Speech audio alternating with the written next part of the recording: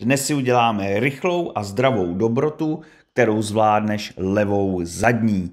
Jde o karbanátky z červené hřepy s balkánským sejrem. No mrkej na tu nádheru. Potřebuješ jednu červenou řepu nastrouhat najemno na struhadle.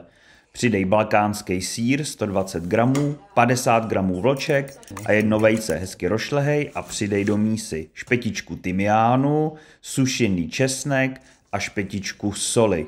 Ještě si takhle nakrájej nájemno listovou petržel a pořádně promíchej.